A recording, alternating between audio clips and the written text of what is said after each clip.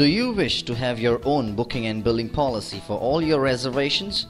Then our tutorial video will help you set the policy in eZee Reservation. Let's log into eZee Reservation.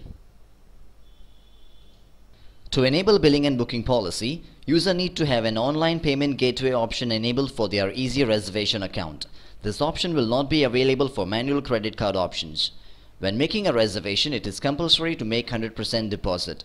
But with billing and booking policy enabled, you can set the deposit amount that you desire to take from the guest.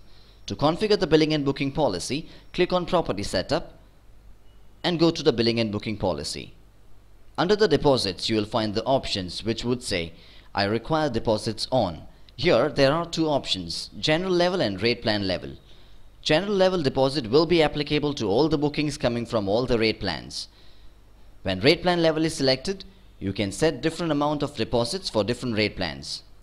The second option which says I require a deposit of is enabled only when general level is selected.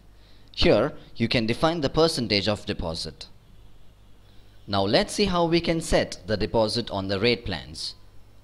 Go to Master tab, click on Rate Plan and edit the rate plan. You will be able to see the option to enter the deposit. The deposit entered here will be applicable for the selected rate plan. Similarly, you can configure the deposit for other rate plans as well.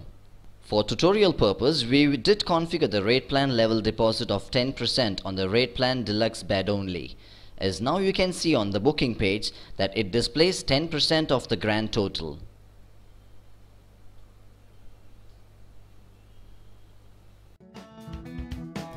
Hope our tutorial video was informative and helpful.